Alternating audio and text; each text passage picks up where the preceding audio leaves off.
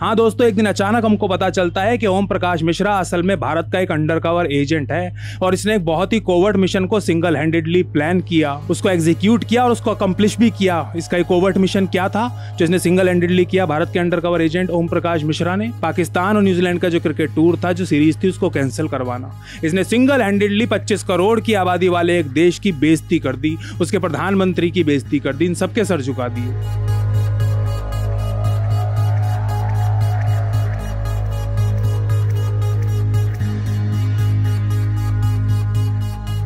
नमस्कार, जय माँ भारती। दोस्तों, अभी मैं आपको जो कहानी सुनाने जा रहा हूँ, उसको आप ये सोच के सुनिएगा कि ये किसी फ़िल्म की कहानी है। हॉलीवुड की जो बिग बजट फ़िल्में होती है ना, एकदम टॉप नॉच प्रोडक्शन क्वालिटी वाली, उस लेवल की कहानी है और ट्रू कहानी है। नॉन फिक्शन है फिक्शनल कहानी नहीं है। लेकिन कहानी है भारत की, भारत के पूर्वी उत्तर प्रदेश की, यानी कि पूर्वांचल की। पूर्वांचल का एक लड़का है, लड़का क्या, लड़के से मेरा मतलब है कि एक टीनेजर है। और जो टीनेजर है, इसको ऐसा लगता है कि ये बहुत अच्छा रैपर बन सकता है और इसको रैपर बनना है किसी भी कीमत पे। इसको लगता है कि इसके अंदर रैप का टैलेंट है। इसको लगता है इसके आसपास जो इसके तीन चार दोस्त हैं, बचपन के दोस्त हैं, उनको भी लगता है कि इसके अंदर टैलेंट है, लेकिन बाकी दुनिया को नहीं लगता। पर बाकी दुनिया को क्या लगता है, क्या नहीं लगता, उससे इसको घंटा फ़र्क नहीं पड़ता। और ये अपना एक गाना कंपोज करके, बना के, गा के रिकॉर्ड करके यूट्यूब पे अपने चैनल पे रिलीज़ कर देता है रैप सॉन्ग गाने के बोल थे बोलना आंटी, आऊँ क्या, घंटी में बजाऊं क्या? और ये गाना भाई साहब वायरल हो जाता है, दबा के वायरल हो जाता है रातों रात। इसलिए वायरल नहीं होता कि गाना बहुत ज़्यादा अच्छा था, बल्कि इसलिए वायरल होता है कि बहुत ज़्यादा बुरा था। मतलब क्रिंज वर्दी गाना था। It was too bad that it's good इस कैटेगरी में आता। इतना बुरा कि अच्छा लगने लगे, उस कैटेगरी में आता था। तो इसके ऊपर दबा के मीम्स बनने लगते हैं, बहुत मीम्स बनते हैं इसके ऊपर जो हमारे देश के जितने भी बड़े रोस्टर्स हैं, इसको दबा के रोस्ट करते हैं, और इसके ऊपर कंट्रोवर्सी भी होती है। हमारे देश के जो लिबरल्स हैं, वो कहते हैं कि इस गाने की जो लिरिक्स हैं, वो मिसोजनिस्टिक हैं, वो सेक्सिस्ट हैं, और वो रिपोर्ट करके यूट्यूब से गाने को डिलीट करवा देते हैं रिमूव करवा देते हैं। जैसे कि ज़्यादातर होता है, हमारे देश के जो लिबरा, लिब्रांडू हैं, लेफ्टिस्ट हैं, इनके प्रेशर में यूट्यूब जल्दी आ जाता है, इनकी बात जल्दी मान लेता है। तो ये गाना इसका डिलीट हो जाता है, लेकिन एक बार चीज़ जो सोशल मीडिया के ऊपर वायरल हो गई, वो डिलीट कैसे की जा सकती है? वो तो बस हो गई, अमर हो जाती है, वो तो सोशल मीडिया के ऊपर इंटरनेट की दुनिया में अमर हो जाती है वायरल चीज़। तो इसको रातों रात फेम मिल जाता है, कहें कि 15 मिनट्स ऑफ़ फेम मिल जाते हैं, और उसके बाद इसके ऊपर मीम्स बनते रहते हैं, वरुण धवन भी इसके ऊपर बयान देते हैं, इसको और पब्लिसिटी मिलती है। और ये अपने यूट्यूब के ऊपर गाने डालता रहता है, अपने व्लॉग्स डालता रहता है, कभी किसी रैपर को कुछ बोल दिया, किसी को सपोर्ट कर दिया, कभी दो रैपर्स की लड़ाई में कूद पड़ा, इन सब वजह से ये न्यूज़ क्या मीम्स का विषय बना रहता है। लेकिन एक दिन हमें अचानक पता चलता है, पूरे देश को पता चलता है कि ओम प्रकाश मिश्रा। एक ये क्रिंज वर्दी रैपर वो तो असल में आर एंड ए डब्ल्यू का एक बहुत बड़ा अंडरकवर एजेंट है। बहुत बड़ा एजेंट मामूली एजेंट नहीं। ऐसा एजेंट जिसने single handedly New Zealand tour of Pakistan को कैंसिल करवा दिया। तो दोस्तों, हुआ कुछ यूँ कि जब न्यूजीलैंड ने पाकिस्तान का जो अपना ये दौरा था, इसको एकदम इलेवंथ क्या ट्वेल्थ आवर पे कैंसिल किया सिक्योरिटी थ्रेट का हवाला देते हुए तो इसके बाद पाकिस्तान के मंत्रियों ने, पाकिस्तान के मीडिया ने, जैसा कि हमें आशा थी कि होगा, भारत के ऊपर आरोप लगाना शुरू कर दिया कि ये सब भारत का किया धरा है, भारत ने करवाया है। पहले पाकिस्तान के गृह मंत्री ने कह दिया, जो इंटीरियर मिनिस्टर है, उनका शेख चिल्ली रशीद, हर चैनल पे जाके उसने कहा कि ये भारत का किया धरा है। उसके बाद पाकिस्तान के जो दूसरे मंत्री हैं, जो उनके, उनका तो कोई भी बैठ के मीडिया में बोलने लगता है ना, सरकार की तरफ़ से पता नहीं चलता कि सरकार का प्रवक्ता कौन है स्पोक्स पर्सन कौन है ऑफिशियल लेकिन दोस्तों, आज, यानी कि तेईस तारीख को, जो पाकिस्तान के इंफॉर्मेशन मिनिस्टर हैं, फवाद चौधरी, उन्होंने प्रेस कॉन्फ्रेंस की। और उसमें उन्होंने बताया कि कैसे भारत ने ये साजिश रची। उन्होंने बोला फवाद चौधरी ने कि भाई, भारत से ईमेल्स भेजी गई, महाराष्ट्र से अलग अलग ईमेल आईडी से मेल्स भेजी गई न्यूजीलैंड के प्लेयर्स को और उनकी पत्नियों को भी, उनके स्पाउसेस को भी। थ्रेड्स भेजी गई ईमेल्स के ज़रिए। ये अलग अलग ईमेल आईडीज, उन्होंने चार पाँच ईमेल आईडीज बताए। उन्होंने कहा, और ये भेजी गई जिसके मोबाइल फ़ोन से, जिसकी डिवाइस से, उस आदमी का नाम है ओम प्रकाश मिश्रा। ये जो ओम प्रकाश मिश्रा था, इसकी फ़ोटो भी दिखाई फवाद चौधरी साहब ने। 25 करोड़ की आबादी वाले देश के इंफॉर्मेशन मिनिस्टर ने फ़ोटो भी दिखाई और फ़ोटो इन्हीं ओम प्रकाश मिश्रा की थी जिनको हम क्रिंजवर्दी रैपर मानते हैं। जो एक मीम के सब्जेक्ट है हमारे देश में, जिनका सब मज़ाक बढ़ाते हैं। मैं उनको जज नहीं कर रहा हूँ, मैं कुछ नहीं, जो एक जो रियल सिचुएशन है, मैं वो बता रहा हूँ। मैं I D don't mean to offend him वो जो भी कर रहा है, अपनी जगह सही यार अच्छा लड़का, खुश है, अपना उसका काम चल रहा है, बहुत अच्छी बात है, मेरे को कोई परेशानी नहीं है उससे। फवाद चौधरी कहते हैं कि ये लड़का है, इसके मोबाइल फ़ोन से, इसके डिवाइस से न्यूजीलैंड को थ्रेड्स भेजी गई और इन थ्रेड्स की वजह से न्यूजीलैंड ने अपना जो दौरा था, वो एंड टाइम पे कैंसिल कर दिया।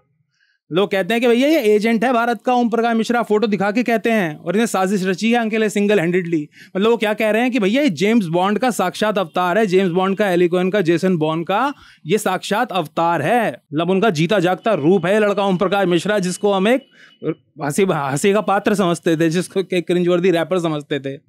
ये लड़का एक अंडर कवर एजेंट है भारत का आर एंड ए डब्ल्यू का, पता नहीं किसी और एजेंसी का एजेंसी का नाम उन्होंने नहीं लिया शायद।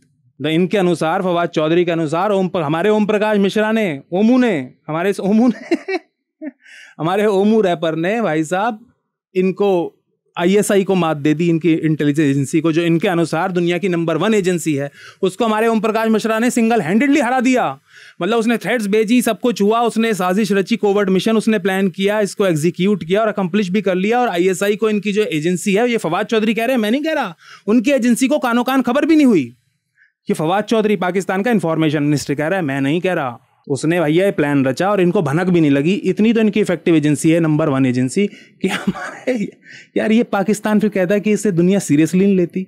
मतलब ये लोग, मैं देख रहा हूँ, शोर मचा रहे हैं, शोएब अख्तर पढ़े लिखे लोग भी, शोएब अख्तर तो पता नहीं, पढ़ा नहीं, पढ़ा लिखा नहीं है, वसीम अकरम जैसे मतलब इतने वेल रेड एंड ट्रैवल्ड लोग भी मतलब उनके एक दो लोगों को छोड़ दें जैसे आरज़ू काजमी हो गई आलिया शाह जैसे लोग हो गए या जो कनाडा में बैठे हैं कुछ लोग ताहिर गोरा जैसे लोग हो गए रॉफ क्लासरा है उनकी मैं, मैं रॉफ क्लासरा एकमात्र पाकिस्तानी है जिसकी मैं रिस्पेक्ट करता हूँ। उसने कभी भारत के खिलाफ भी बातें बोली होंगी पर यार वो एक पाकिस्तानी भी तो है ना आप इस पॉइंट ऑफ़ व्यू से भी तो सोचो पाकिस्तानी। उसने भी सही सही वो भी सही बात कर रहा है न्यूजीलैंड वाली बात पे वो कह रहा है भाई क्यों कैंसिल है? बता रहा है कह रहा है आपने जो जाके तालिबान अफ़गानिस्तान में जाके चाय पी वो कारण हो सकता है कि सीरीज़ कैंसिल हुई है। उनका क्या मतलब है इसका रॉफ क्लासरा का इस बात से? इनके जो आई चीफ है। उसने जाके अफ़गानिस्तान में तालिबान के साथ चाय पी, फ़ोटो खिंचवाई। कैसी तो एजेंसी है कि अपने आईएसआई चीफ की तालिबान विज़िट को ये सीक्रेट नहीं रख पाए यार? हमारे आर एन डब्ल्यू के चीफ के ज़्यादातर लोगों को नाम नहीं पता होगा। वो कहाँ कहाँ जाते हैं क्या क्या करते हैं किस किस से मिलते हैं, किसी को पता चलता है? नहीं, वो मिलते हैं यार वो।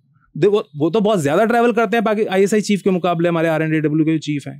वो भी मिले होंगे, तालिबान से मिले होंगे, चीनी से मिले होंगे, वो जहाँ उनको ज़रूरत पड़ती है मिलते हैं, वो यूके से अमेरिका से, क्योंकि भारत दूसरे देशों की सहायता करता है और दूसरे देश भारत की सहायता करते हैं और ऐसे ही भारत चल रहा है देश में, पाकिस्तान की तरह नहीं, इसे कट ऑफ़ किया हुआ देशों ने।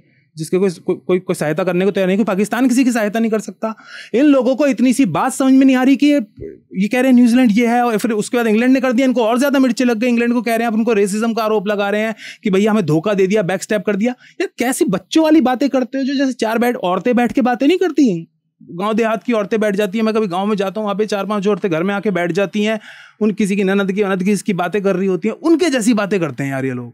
अरे यार, तुम्हारा प्रधानमंत्री खुल के तालिबान का समर्थन कर रहा है। समर्थन कर रहा है, छोड़ो, को मारो गोली, उनके लिए दूसरे देशों में जाके दुनिया से पैसा मांग रहा है। तालिबान के लिए मतलब is working as a fund raiser as an agent of Taliban ये लोगों को बात समझ में नहीं आ रही? तुम्हारा प्रधानमंत्री ये बात दुनिया को दिख नहीं रही क्या? दुनिया अंधी है क्या? और ये वेस्ट का मीडिया यार ये लिबरल मीडिया की बिल्कुल स्पाइनलेस है टाइम हो गया, ये हो गया, ये खुल के बोल क्यों नहीं रहे हैं? न्यूजीलैंड के प्राइम मिनिस्टर ने खुल के बोला क्यों नहीं, भाई तुम्हारा जो प्राइम मिनिस्टर है वो तालिबान को सपोर्ट कर रहा है, खुल के उनके लिए फंड रेजिंग कर रहा है। तुम्हारा जो आईएसआई का चीफ है is in fact the second most powerful person in the country in Pakistan ISI chief दूसरा सबसे पावरफुल होता है, पहला जनरल होता है मिलिट्री का आर्मी का इनकी चीफ होता है, और फिर आईएसआई चीफ दूसरा सबसे पावरफुल होता है, फिर किसी और का नंबर आता है। वो आदमी जाके वहाँ के चाय पी रहा है फ़ोटो खिंचवा रहा है फ़ोटो ऑप्स कर रहा है उनके साथ तालिबान के साथ। जिनको तुम खुद आतंकी कहते हो। तुम्हारा जो विदेश मंत्री है फॉरेन मिनिस्टर है वो कह रहा है कि भैया टीटीपी को एमनेस्टी दे देंगे माफ़ कर देंगे सारे अपराध। सारे जुर्म माफ़ कर देंगे।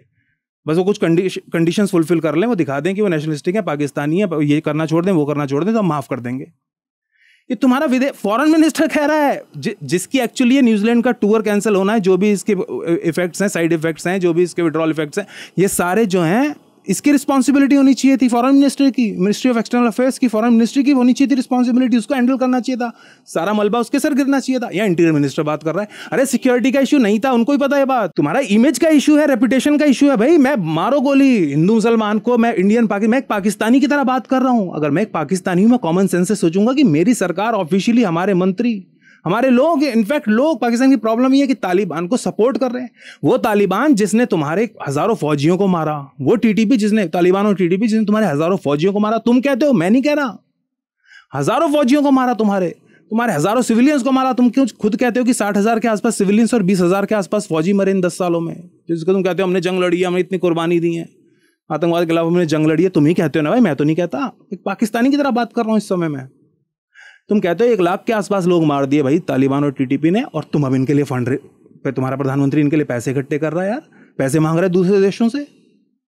उनको खुल के समर्थन हो रहा है तुम्हारा आई वहाँ जा रही दुनिया को दिखती हैं ये बातें। तो कैंसिल कैसे कर लेंगे तुम्हारा दौरा भाई? सीरिया और शाम के दौरे किए जाते हैं क्या क्रिकेट के? ईरान, इराक के कोई दौरे करता है क्या? क्रिकेट खेलने जाता है क्या कोई? तुम जाओगे क्या कल को? और होना चाहिए भाई, तुम्हारे बिरादर मुल्क है इनसे को ना क्रिकेट टीम बना ले, चीन से को क्रिकेट टीम बना ले, आपस में बना के एक बीस, एक आईसीसी की टक्कर की एसोसिएशन खड़ी कर दो। खत्म कर दो, खा जाओ आईसीसी को, कर लो। है हिम्मत, है दम, कर लो। ये क्यों नहीं करता है पाकिस्तान क्रिकेट बोर्ड भाई, पाकिस्तान जो है, वो तो मुस्लिम उम्मा का सरदार है ना। तुर्की, मलेशिया से कहो, ये तो तुम तुम तो बहुत अच्छे रिश्ते हैं ना पाकिस्तान के तो तुम तीनों तो भाई हो सगे भाई हो इनसे को क्रिकेट टीम बनाए और आपस में सारे मिलकर दस बारह टीम्स की एसोसिएशन बना लो आईसीसी की टक्कर की। जो आईसीसी को खत्म कर दे, खा जाए वो टेक ओवर कर लो वर्ल्ड क्रिकेट को। मैं कह रहा हूँ, किया होगा, भारत ने, भारत कर सकता है, किया होगा। तुम ही कह रहे हो, भाई, भारत ने क्या किया होगा? ओम प्रकाश मिश्रा ने किया है। एजेंट ओम प्रकाश मिश्रा। भाई, ओम प्रकाश मिश्रा, तुम्हारा ऑटोग्राफ लेना है, भाई। इंटरव्यू दे दो।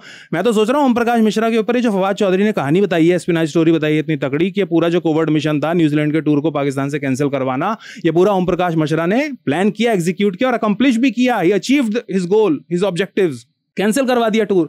भाई ओम प्रकाश मिश्रा, मैं तो तुम्हारे ऊपर यार, तुम्हारी आज्ञा से एक तीस मिनट का, आधे घंटे का, चालीस मिनट का बढ़िया सा, बहुत बढ़िया प्रोडक्शन क्वालिटी का स्पिना स्टोरीज का मैं एपिसोड बनाना चाहता हूँ। भाई, तुम्हारे ऊपर इंटरव्यू दे दो, मेरे को कहानी सुना दो अपनी। यार, हद है मतलब पाकिस्तान के सीरियस नहीं लेती दुनिया इनके। यार, दिख नहीं रहा कॉमन सेंस नहीं है आप लोगों के पास। मारो हर चीज़ को गोली, यार, सब कुछ साइड में रखो सारी बातें। तुम्हारा प्राइम मिनिस्टर तालिबान को सपोर्ट कर रहा है, जिसको तुम खुद आतंकी कहते हो। यार, तुम खुद कहते थे, तुमने दस साल फिर लड़ाई किसके खिलाफ लड़ी थी? अगर तुम इनके लिए पैसे इकट्ठे कर रहे हो तो इनको माफ़ करने की बातें कर रहे हो, किसके खिलाफ लड़ाई लड़ी थी यार? क्यों चला गया न्यूजीलैंड? तुम ये पूछ रहे हो, तुम में से कोई ये नहीं बोल रहा कि मीडिया पे ये खबर नहीं चलाई जा रही कि वो जो अज़ीज़ है, वो मौलाना अज़ीज़ है, क्या नाम है उसका? उसने वहाँ लाल मस्जिद पे 500 हथियारबंद लोग बिठाए हुए हैं, सीज, उसने सीज कर दिया उसको। वो कैमरे के ऊपर तुम्हारी जो सिक्योरिटी फोर्सेज है, तुम्हारी जो पुलिस है, उसको कैसे हड़का रहा है कि अब तालिबान आएँगे, ये होगा, वो होगा, वो तुम्हें नहीं छोड़ेंगे, ये करो, वो करो, ये बच्ची हड़का रहा है, वो सरेआम हड़का रहा है भाई, वीडियो वायरल हो रहे हैं, वो लोग दिखता नहीं है क्या वेस्ट को ये? न्यूजीलैंड को दिखा, ये थ्रेट थी न्यूजीलैंड के लिए, क्या पता हो ये ये लेके के ओम प्रकाश मिश्रा, यार फ़ोटो वगैरह इतनी रिसर्च नहीं कर सकते तुम कि एक एक नाम, ये कोई बंदा जिस, जो नाम हम यूज़ कर रहे हैं मतलब ब्लेम डालने के लिए, वो इंडिया में फ़ेमस नाम ना हो, तुम इतनी रिसर्च नहीं कर सकते, तुम्हारी नंबर वन एजेंसी है यार। मतलब ओम प्रकाश मिश्रा जिसकी फ़ोटो तुमने यूज़ की, तुम्हें ये नहीं पता कि वो इंडिया में फ़ेमस है मतलब थोड़ा बहुत फेम रखता है यार। इतनी बेसिक रिसर्च नहीं कर पाए। मतलब यहाँ पे मैं ये असाइनमेंट अगर किसी अपने ग्रेजुएशन के स्टूडेंट को दूँ, वो भी ऐसा नहीं जो ग्रेजुएट कर चुका हो अभी, हो अंडर ग्रेड हो अभी, पढ़ रहा हो। अंडर ग्रेड स्टूडेंट को दूँ ना मैं किसी बी कॉम के बी एस सी के स्टूडेंट को या बी टेक के स्टूडेंट को तो वो भी इतनी रिसर्च कर लेगा कि जिसके ऊपर हम ब्लेम डाल रहे हैं, जो हम आइडेंटिटी चुन रहे हैं, जिसकी फ़ोटो यूज़ कर रहे हैं, वो इंडिया में फ़ेमस ना हो। कहीं से हम फेक वो मॉर्फ करके फ़ोटो बना लेते हैं यार, कोई शक्ल बना लेते हैं। फोटोशॉप में कितनी बड़ी बात है। चार पाँच चेहरे लेके तुम्हें मर्ज करने थे, उसको फिर थोड़ा सा पोस्ट वर्क करना था, मैं बना दूँगा। मैं ईमेल भेज दूँगा और मैं अपनी डिवाइस डिस्कवर भी नहीं होने दूँगा। कह रहे हो, ओम प्रकाश मिश्रा लोकेशन बता रहे हो, महाराष्ट्र यार, और फ़ोटो जिसकी ओम प्रकाश मिश्रा दिखा रहे हो रहने वाला है पूर्वांचल का ईस्टर्न यूपी का। एक, ये दुनिया की नंबर वन एजेंसी है, फिर ये कहते हैं दुनिया इनको सीरियसली क्यों नहीं लेती? दोस्तों, यही आज का एक मैं हल्का फुल्का सा एक ये आपके से पॉडकास्ट रखना चाहता था, बात करना चाहता था इसके ऊपर। वीडियो पसंद आया तो इसको लाइक कीजिए शेयर कीजिए, चैनल को सब्सक्राइब ज़रूर कीजिएगा। जल्दी मिलेंगे एक और वीडियो के साथ। जय माँ भारती, जय हिंद।